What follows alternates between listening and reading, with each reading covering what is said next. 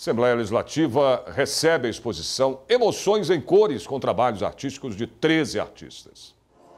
Com curadoria de Samir Shadala, a exposição traz 24 obras de 13 artistas. A mostra traz paisagens de mergulho com técnica de computação gráfica, pinturas em tela e esculturas em cerâmica.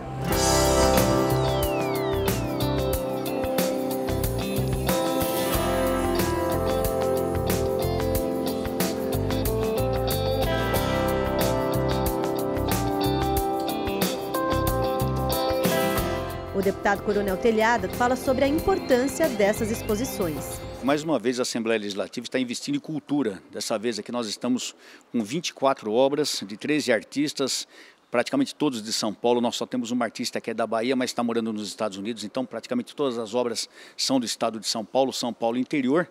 E o nome é Emoção em Cores. É uma, uma obra, uma uma galeria trazida pelo amigo Samir Shelala, que em parceria com o nosso gabinete sempre tem promovido esse tipo de ação cultural aqui na Assembleia. Os artistas também receberam certificados de participação das mãos do deputado e do curador da exposição. A importância da exposição é levar as obras e os artistas para serem cada vez mais conhecidos. Né? Então, eles precisam de locais e exposições para poder mostrar suas obras.